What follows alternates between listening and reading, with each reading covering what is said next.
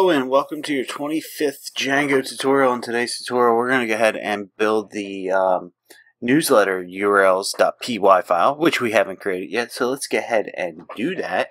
So the urls.py file is not included by default.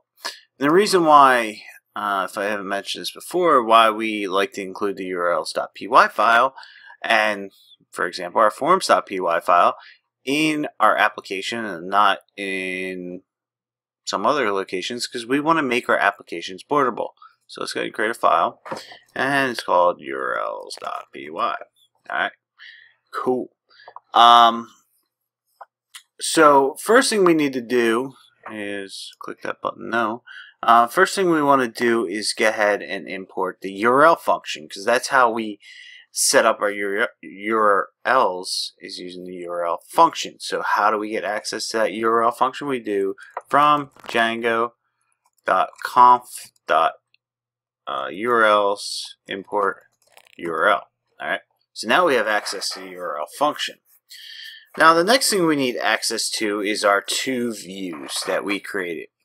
And our two views, um, one is the sign up and the other is the unsubscribe we need access to those views in our urls.py. So let's go ahead and import that.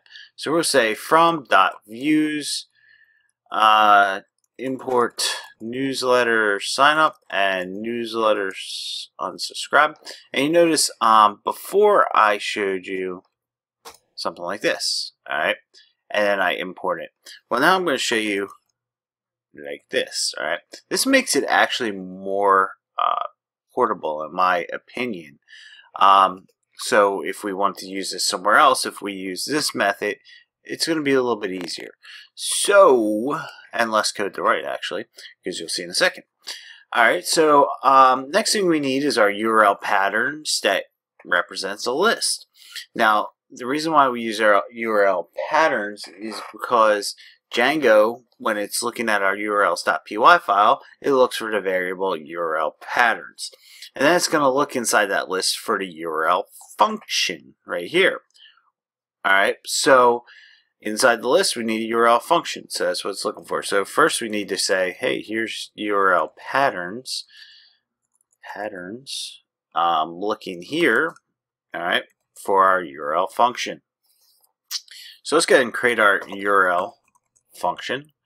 Alright, and I'm just going to create another one because we need two of them. Um, next thing we need to do is add our raw string, which we saw before. So R, and then the quotes, single or double, whatever you feel like using. Then we're going to say sign uh, up forward slash dollar sign. And I don't know if we saw the dollar sign, but the dollar sign says, hey, there's no more um, after this. So just stop there, okay? And that's what the dollar sign does.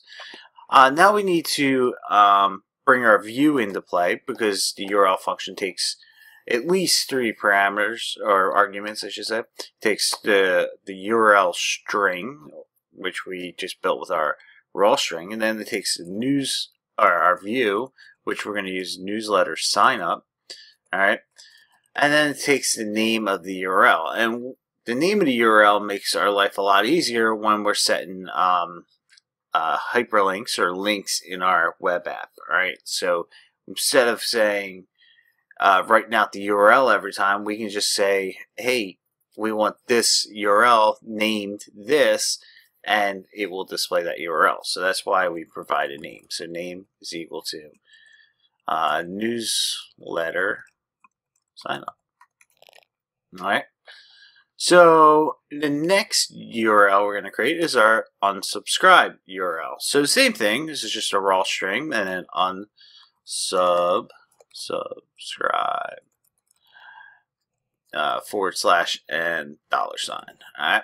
And then we pass our view just like we did in the above one. So newsletter unsubscribe and then we give then we give it a name. So we do name is equal to and we'll call this one newsletter unsubscribe. There we go. So it looks like that. Alright. So that is our um, urls.py file in our newsletter app. So I'll see you in the next tutorial where we start building the templates. Have a nice day.